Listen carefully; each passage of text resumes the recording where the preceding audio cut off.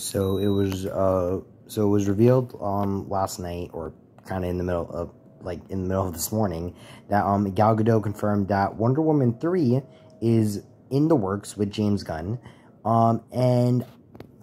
I don't know how to feel about this. I'm in the middle of it because I personally really do like Gal Gadot as Wonder Woman, but I feel like the the bad thing with it is that her Wonder Woman character fits well with the chemistry that she had with uh, Ben Affleck's Batman and Henry Cavill's Superman. And I feel like to have her interact with David Corenswet's Superman and whoever the new Batman's going to be, I, I, feel like that would be, in my opinion, kind of weird. It would be kind of, it, it, would feel weird to me. So I feel like it would be just better for them to have, um,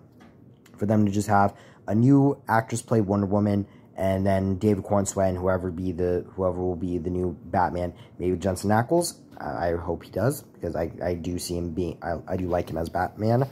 Um, but as for like the Gal Gadot Wonder Woman movie three Wonder Woman third film, the only way I could see that possibly working in any extent is if is if they just make that the first proper Elseworlds film, live action Elseworlds film, because James Gunn did say that any um film any live action well no any DC film that's not in the DC universe like uh like uh Todd Phillips Joker and and uh, uh, Matt Reeves the Batman, those are considered Elseworld stories. So I would really just consider the the DCEU as just an Elseworld story now, and just uh, have Wonder Woman three be another Elseworld story.